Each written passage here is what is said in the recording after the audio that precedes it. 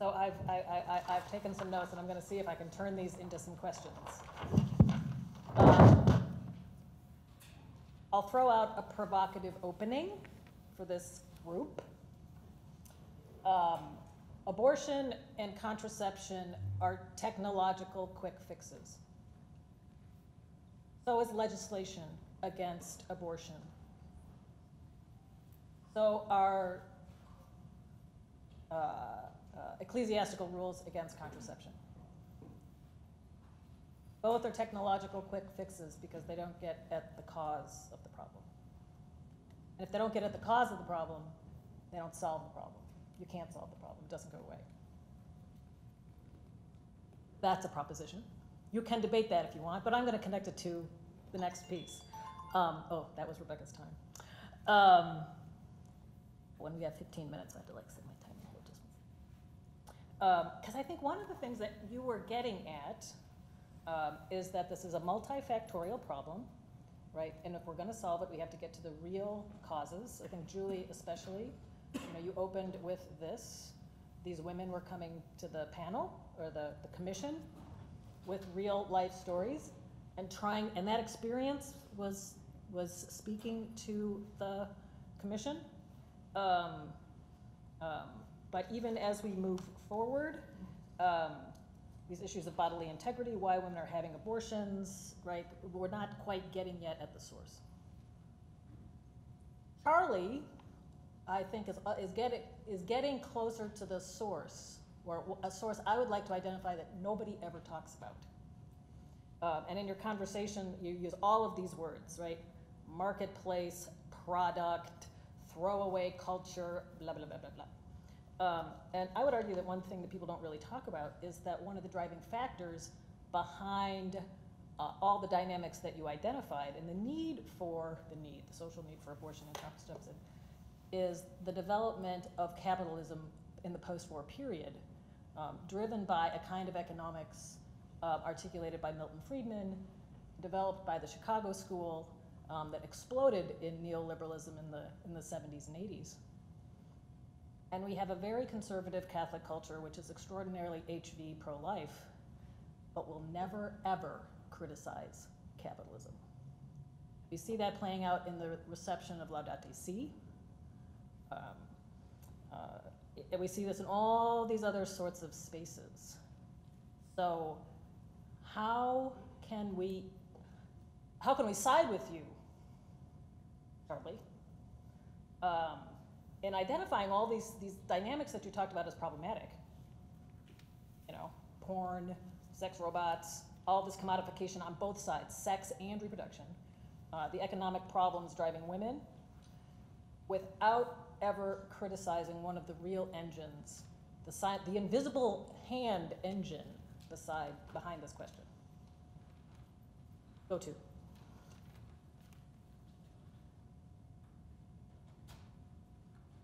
That for me? That's for all of you. That's for all of you? This is where you spar. Well, um, I'll just start, but I, I mean, unless others want to. Okay. Um, so Marco Rubio recently, um, both during the campaign and recently, has said he's ex- interested in exploring the idea of some version of federally mandated paid family leave for women. Now, here's a guy who is, in other contexts, radically implicated in what you just laid down as being a problem. So what what is changing with him? What is going on with him? I think that's a very fascinating question. Maybe it's just trying to moderate to run against Trump in 2020. I don't know. Um, but let's put the best spin on it possible and say that he's having some kind of shift. I wonder if what's happening uh, with someone like him, and not not a few others are being are more in, on the right are more interested in talking about federally mandated paid family leave. I think what's happened is, and this gets to your first point as well, I think as they see the implications of what it will mean for women when prenatal children, in their view, are given legal protection, they're, they're good people at heart and they say, we have to do something to help women in desperate, difficult situations if we do this. And so for people whose primary value, or yeah, primary value is defending basic human life, fundamentally vulnerable human life with equal protection of our laws. I think that has moved some of them to say maybe my Milton Friedman, um, Atlas Shrugged type of approach to this is is wrong, or at least needs nuance. Uh, because I really care more about babies than I care about free markets. Now, there are some people who care more about free markets than babies, in fact, maybe a majority.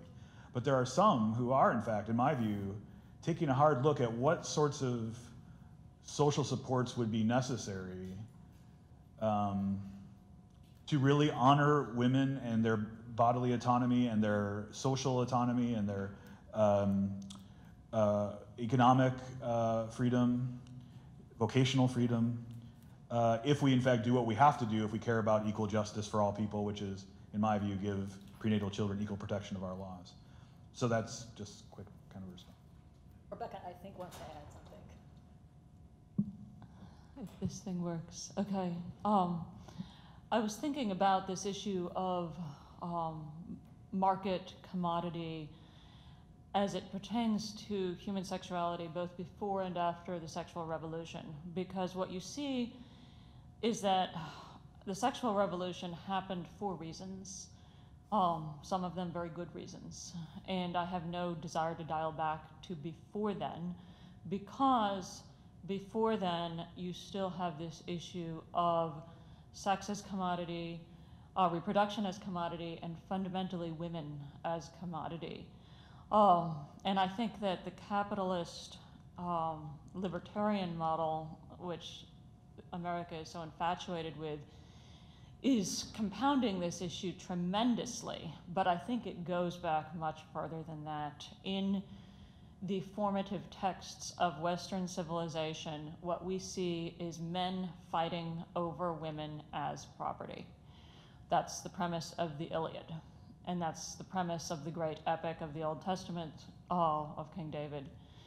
And so I think we need to reevaluate not just our market economy, capitalist economy, um, this uh, obsession with money and profit, but also uh, how we regard women and just how rooted a patriarchal idea of women as property is in our civilization and how much has that uh, infected the Catholic tradition.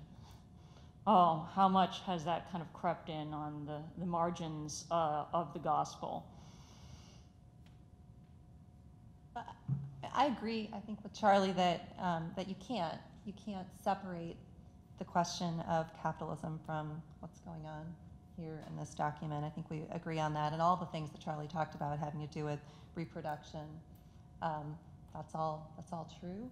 Um, and, and everything that we're seeing in terms of what's going on in hookup culture that is really coming out, and a whole discussion of what's now being called bad sex in addition to sexual violence. Uh, it's bad. bad.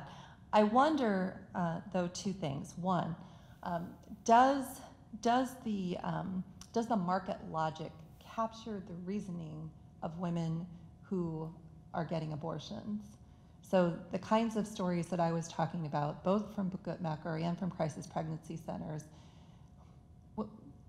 don't capture women talking in terms of productivity in the market. They seem to be talking about relational responsibilities that they're trying to juggle and or that they're feeling pressured about. But they seem to be talking, at least using the language of relationship and not necessarily the language of the market. So I'm sure that that language is, is out there, but I wonder if it captures all that's going on. And so is that, the way, is that necessarily the way to solve it?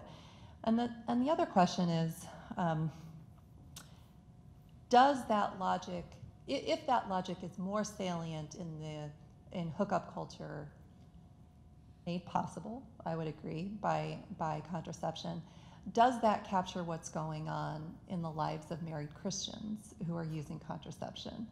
And, and that's where I'm not as certain. Um, I don't think we necessarily have those stories.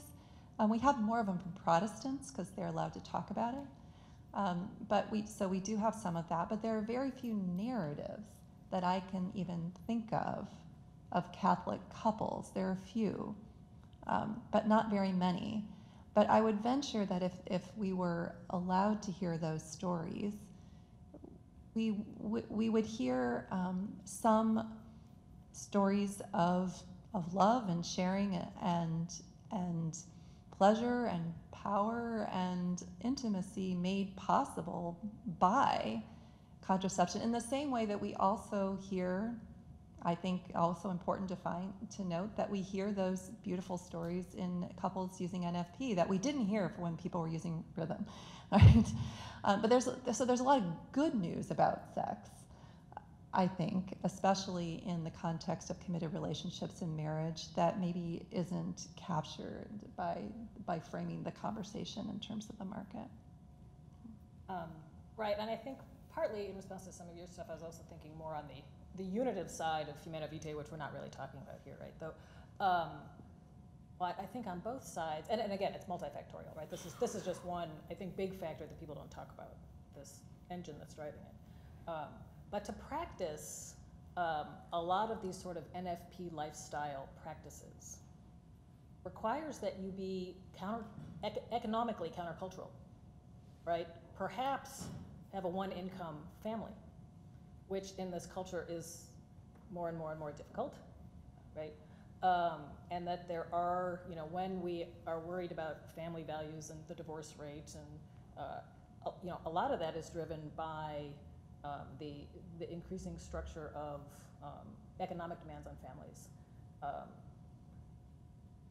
uh, two, uh, two job couples, what do you call these, right? You know, two income households um, which you know sometimes is a good thing, but it has certain kinds of pressures attached to it that we don't get behind to understand what's what's putting pressure on the unitive side as well. Um, so we just lift that up. You can discuss this at your tables as well. We'll move on to a second question.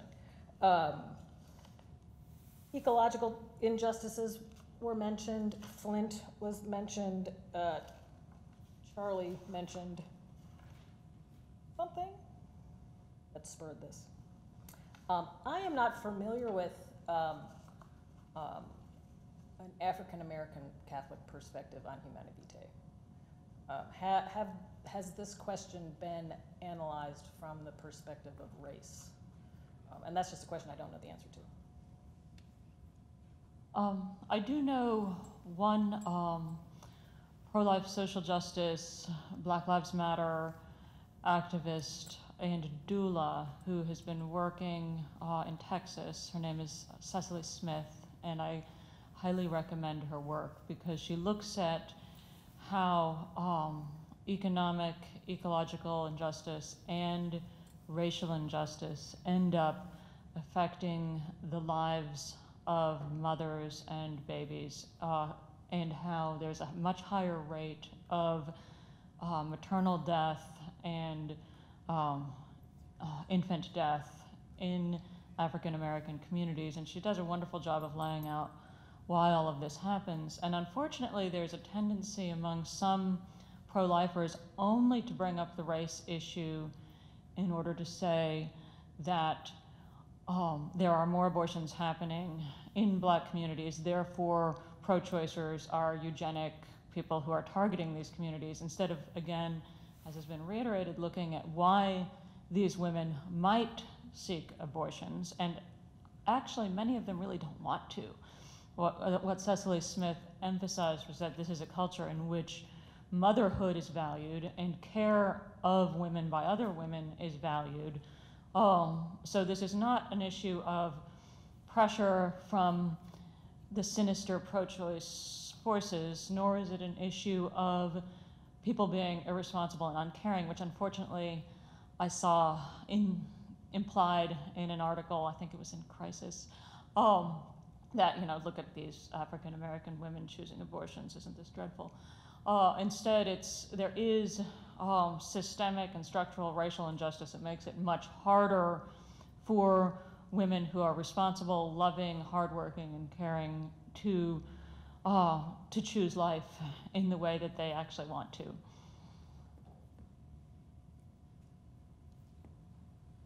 I don't um, have data ready to hand on this, but part of what I was going to say in my remarks I never got a chance to say was um, to highlight the movement of some very privileged people um, who are increasingly trying to move away from hormonal contraception as their way of um, trying to space births or, or um, separate sex from procreation in some ways. Um, and it's not uh, right wing Catholics or something like this. Increasingly, it's more secular people.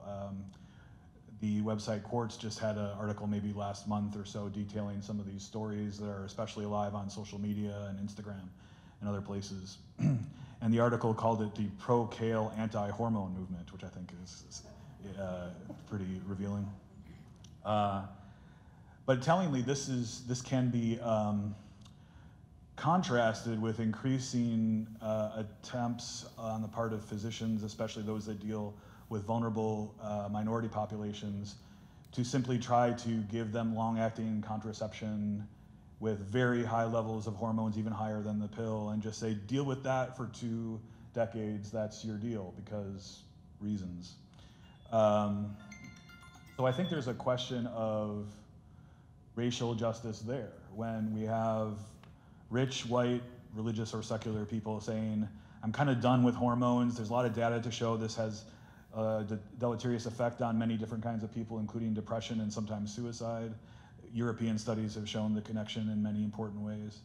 Um, it's time to get off this, uh, and they have the resources to do it, um, uh, often related to reasons of racial injustice. But then again, for, for people of, of different means, and especially for racial minority communities, we often just kind of punt and say, there's your IUD, you know? Um, all right, one last question, and then we'll go to our table discussions. So all three of you mentioned dialogue. Um, and named it as a pro-life and social justice practice, which I thought was great, right? Just to call it that. Um, um, but I ask my students this frequently. Where is it possible for that kind of dialogue to happen in the actual culture we live in? Um, I mean, I'm looking for places. The closest I can get is the classroom for 15 weeks. Um, but that costs a lot of money, and most people aren't in that space. Um, and I just, I'm kind of at a loss for where else it, it is actually happening. I can think of some places that might be able to happen, but um, wisdom for the group. I don't know that Twitter is quite the right place. Oh, sorry, Charlie. Oh, can I take this opportunity to invite you all to a place where dialogue will happen? Um, I work with an organization called Revolution of Tenderness, and our director, unlike me, is non combative, caring, and affectionate, and she's been a wonderful influence on me. Um, but we have events called Festival of Friendship um, in Pittsburgh. It'll be late September. And one thing that we emphasize there is that it is kind of a non, not non-political in the classical sense, but non-political in the beat you over the head sense. It's a space where we have art, we have dialogue, we have information on human trafficking, uh, immigration, poetry readings, um, and you know this is this is just one tiny space of experience, but it's free to the public, and so you know it's not it, unlike the classroom. Anyone can walk in, and it would be lovely if all cities across the United States were to have events like this. Right, but so you're, you're having to create a space Yes. for that to happen, right? Because it's otherwise not, Yeah. it's hard to find it. Yes. Um, I mean, I think it's a great it's a great question. I, I do think that there that there's a hunger for those kinds of conversations. And as much as people are worried about, especially discussing the abortion issue, there is there is increasingly a hunger for talking across these lines of division. And so, I, I, guess I would challenge those of us in the room who are educators and or of some kind and do have these skills in moderating conversations to figure out how we might be able to move into other spaces and encourage a different level of conversation, whether that's bars or, or, or cafes or online spaces or whatever it is. And, and, and also to think of part of our mission as training our, our students to have those kinds of skills so that they can be people who can lead those conversations in whatever spaces they end up in. I would second everything that's been said and um, also say that the classroom is a very important place for this. But let me also, also offer a semi-hopeful uh, remark about our national politics. So, so I'm a board member of Democrats for Life and have been part of some of our lobbying attempts to get precisely these kinds of crossover um, uh, bills or legislative proposals passed or at least considered. And what I've learned uh, is that lots and lots of individual legislators and their staffs are very interested in it. But when it comes time to make it public or to do some public work on it, um, uh, interest groups uh, rear their ugly head and don't allow, in fact, them to. They'll say, "We just gave you all this money to get you elected. We're going to primary you if you do anything like this." Um, so even though in their hearts they're very much open to that, um, uh, many, if not most of them, feel like their hands are tied because money and because resources. So it's, I mean, it's, I'm not saying anything new here, but un- until we have some kind of serious campaign finance reform and stopping um, thinking of money as speech in, in a strict sense, it's going to be very difficult. But if we were able to pull something like that off, I think a lot of, I know a lot of legislators would feel more open to a pro-life social justice intersection. You did say something new, because I just learned you can use primary as a verb. I did not know that. Um, but you also, y'all didn't come back, you had said this in your talk, which is what prompted my question. We didn't talk, we didn't talk about parishes. We didn't talk about Catholic parishes being places where real dialogue can happen. And it seems to me that that is an infrastructure that's sitting there waiting to be utilized. How many Catholic parishes are there in the United States? They don't even have to be Catholic. Um, but we don't think of that as a place of dialogue where people can sustain a dialogue over time. Um, and what does that say about our ecclesiology in light of the fact we're talking about Humanae Vitae? Um, I just say something quickly about that. Sure. Uh, not just in parishes, but in dioceses, in part due to financial shortfalls, but I think also due to uh, what Julie called the growing hunger for this. Um, pro-life and um, say human concerns or social justice offices are in some places are being combined, Yeah. right? Um, uh, and so that's another, just to piggyback on what you just said, that's another hopeful place I think to focus. Right. Oh, good. So he's ended on a note of hope. Now, um, where are we at? Oh, good. Um, we would like you all, spurred by this, uh, to spend about, we were going to say 20, but we'll get 17 minutes uh, discussing uh, what was um, uh, raised in the comments um, and or um, what you see as the legacy of Humanae Vitae, maybe over the next 25 years, we don't have to look 50 years out, um, and or what it means to be pro-life today. Uh, so, what do you call this, Mike? It's not see one, do one, teach one. It's uh, pair, pair, care, and share, or something like that. So, um, uh, we'll be back in 17 minutes, and we'll hear some of your thoughts.